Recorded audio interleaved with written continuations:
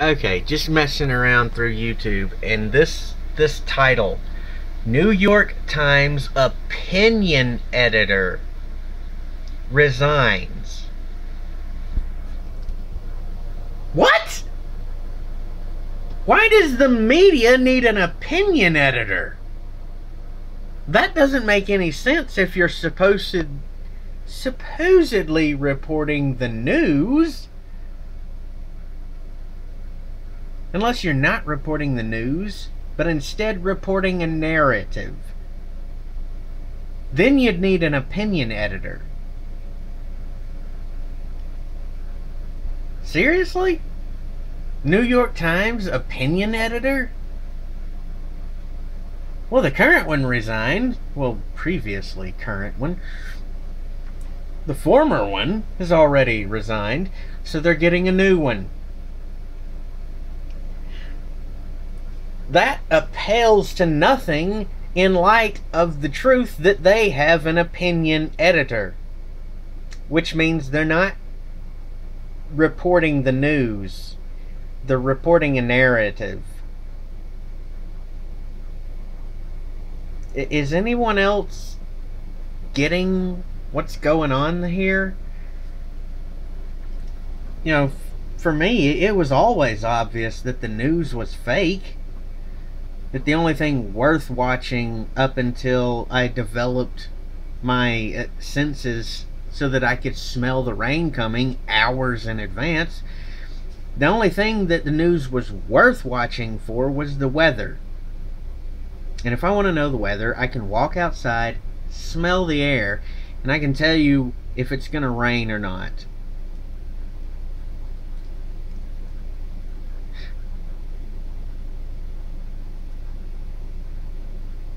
I don't watch the news for anything.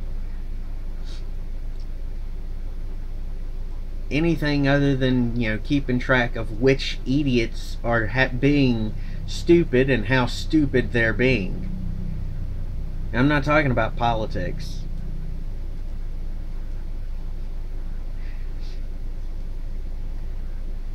I don't watch the news every day. I'll I'll look at uh, one of these three minute videos. I'll watch the first 15 seconds of it, and that's all the news I'll need. That's it.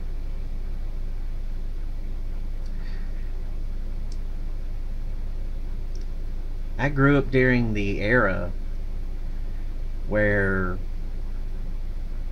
so many people were glued to the TV watching the news 24 7. I hated that. I hated visiting someone's house, a uh, friend of the family, or uh, something like that, or um, uh, oh, what else was there? tons of other things. I just I hated going to visit people's houses and they would have nothing but the fucking news on and it would be going all day long every fucking day. I'd go to a friend's house. Their parents would be watching the fucking news. They'd have a 24/7 fucking news channel. Who the fuck needs that? So yeah, all the mindless sheeple are brainwashed by mass media, which is itself not reporting the news but reporting a narrative. So the New York Times opinion editor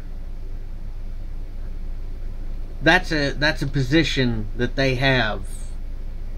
They edit opinions. Whose opinion are they editing? Yours. Not their own, it's yours. Writing 101. Look up the uh, the writing techniques they use in Hollywood for all these big budget movies that roll bank. Don't argue how much bank they roll. Just look at the look at the fucking courses they have to take for writing in Hollywood and if you dissect what they're telling you in the media in these short segments, it fits the same damn thing. Because each segment is a different part of that writing narrative. Don't believe me? Go look for yourself. It's going to cost you a pretty penny to get the uh, the information on how the writing rules that Hollywood goes and uses. I can tell you a few basics. There's your A plot and your B plot. Your B plot is usually a um, a secondary story of character arcs that interweaves into the A plot, which is the main overall story that the entire movie's about. You've got romance subplots, you've got character growth subplots, you've got the main story arc. All of those interweave. Then the elements that uh, you have to have in every movie. Um, you have to have some form of romance or love interest for the characters. You have to have com comic relief. You have to have your main narrative plot, which is basically secondary to the the overall narrative that controls the A, B, and or C plots. So the main story is an idea of where you're going. That's the A plot the B, C, and or D, or B and or C, either way, either mix. It's usually like four other things at most, at the absolute most. Let's see. The plots, the narrative, the love interest, the comedic relief, the betrayal, for hero movies, there's always a betrayal. Always. There always has to be a betrayal. And then the time breakdown. The first five minutes of the movie. This, this, and this have to happen at these specific intervals of time. It's broken down all the way down to each last and every individual second that the movie is scheduled for runtime. That's why so many really good jokes and really good plot uh, points get edited out in post production and they wind up in as extra content on either a blooper reel or deleted scenes. Unless you have like a really good group of editors and producers get together who can weave all of their uh, content into a, uh, a director's cut version which would have all of the so-called deleted scenes put into the feature. But that's rare. That's usually done as a monetary enhancement scheme to get more money out of the individual buying the movie and yeah they think of all this shit years in advance of the release of the movie in theaters all the way down to your home release where you go and buy it and have a copy for yourself. That's the narrative. That's that's how deep and intricate it is. Same shit with news. They report specific things at specific times of the year. And if you pay attention, you'll notice it's more than just reporting increases in, in, in people getting sick just before flu season. It's more than reporting the newest vaccine along with that, right after reporting more people getting sick just before flu season. So it's, it's the statistic increase followed by the vaccine, followed by there's flu season right there around the corner. It's all a narrative. Yeah, but anyway, I could go on for fucking hours.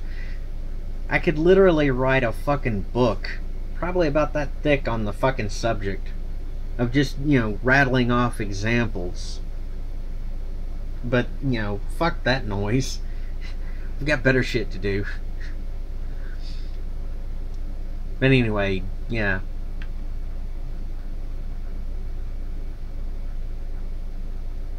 News corporations got their own YouTube channel. A couple of years ago, people were saying, well, not all people, just a couple of YouTubers were saying traditional media is dead. Uh, does it look like it's dead? Does it look like traditional media is dead to you? They control the way you think with the narrative. It's called psychology. Traditional media is not dead. You're just too dumb, ignorant, naive, and moronic to open your eyes and see the truth because you're a mindless sheeple slave to them. That's why I don't have a script for anything I do on YouTube, that is. I don't play with the narrative. I, I don't do politics. I don't do facts, which are nothing more than words written on a piece of paper. Facts are black and white ink on paper. Truth transcends beyond that. You can't fucking touch it and you can't rewrite it. It'll never be gone because it'll exist long after you're dead. I don't deal in opinion. I don't deal in fact. I only deal in truth. So, there it is. As far as news goes, I don't deal with opinion. And I've I've long known that the news was nothing more than a brainwashing cult. But now that right there. Opinion editor. That just proves just how bad it really is. I didn't know they had an opinion editor. I didn't even know that was a thing. But I knew they were spinning a fake narrative along with all the other fake flags flying around. I've known that. Anyway, that's it. I'm done ranting. Yeah, maybe in my next video I'll be doing another stupid monolithic bullshit in a video game for everyone to laugh at.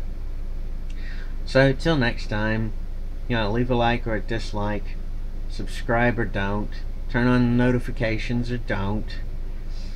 Use the links in the description to support my drug addiction to alcoholism and my rampant overuse of caffeine or don't. But just remember, if you do, I'll be doing more drunk Let's Play shit. And Hopefully it'll be hilarious. Oh, wait, I take that back. Definitely it'll be hilarious. Because I am YouTube's favorite idiot, and possibly yours. But until next time, fuck off. Woo!